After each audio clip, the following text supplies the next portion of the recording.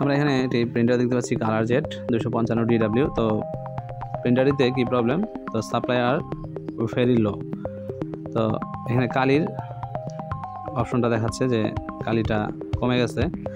তো আমরা এখান থেকে একটা প্রিন্ট আউট নিচ্ছি, যে কালির স্ট্যাটাসটা দেখার জন্য। এখান থেকে আমরা কালির স্ট্যাটাসটা দেখতে পাবো।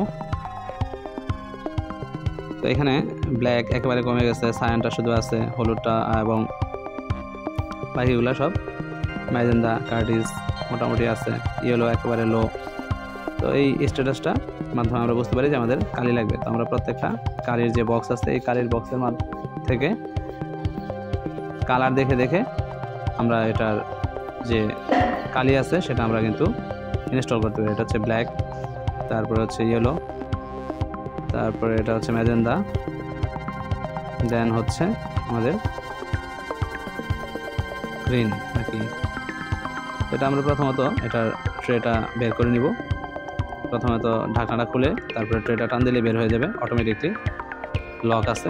তো এখান থেকে জাস্ট সহজে এটা এখান থেকে তুলে নিলেই হবে এবং কালার দেখে দেখে বসাই দিলে হবে। জাস্ট এভাবে কালার দেখে দেখে বসাই দিলে হবে। তো আমরা প্রথমত ব্ল্যাক বসাই দিছি। তারপরে এটা হচ্ছে ব্লু তো এইভাবে প্যাকেটটা খুলতে হবে এইভাবে। প্যাকেটের গায়ে একটা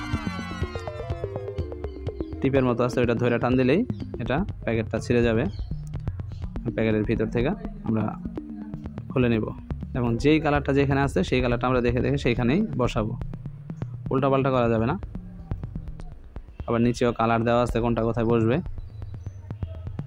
ওকে, তো আমাদের প্রত্যেকটা কালার বসানো হয়ে গেছে। আমরা জাস্ট পুশ করে ভিতরে দিয়ে দিব এবং মেশিনটা লাগিয়ে দিব। ঢাকনাটা লাগাই দিব। লাগাই দেওয়ার পরে এখানে অটোমেটিকলি ইনিশিয়ালাইজ হবে। ইনিশিয়ালাইজ হইতে একটু সময় নেবে এবং ক্যালিব্রেট করবে। তো এখানে বলতেছে যে অরিজিনাল এইচপির টোনারি লাগানো হয়েছে। যাও তো অরিজিনাল টোনারটাই লাগানো হয়েছে, সেটাই বলতেছে এখানে এবং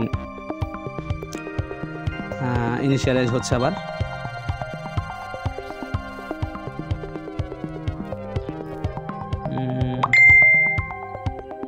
একটু সময় নেবে এখানে আমাদের সময় দিতে হবে। ক্যালিব্রেট হচ্ছে এখন।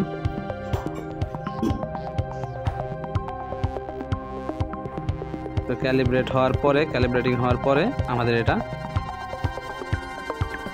সম্পূর্ণ রেডি হয়ে যাবে।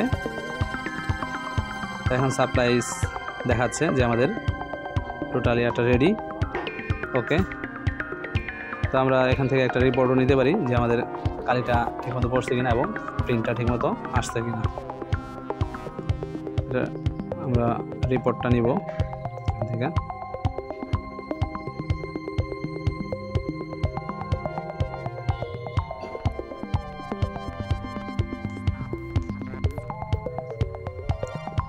রিপোর্টে ক্লিক করার পরে আমাদের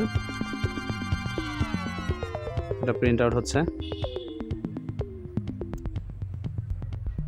এখন এখানে আমরা টোটাল কালিটা, প্রত্যেকটা কালি যে ভরা আছে, সেটা দেখাচ্ছে স্ট্যাটাসটা তো এইভাবে আমরা এর টোনারটা চেঞ্জ করতে পারি এবং প্রবলেম সলভ করতে পারি। ধন্যবাদ।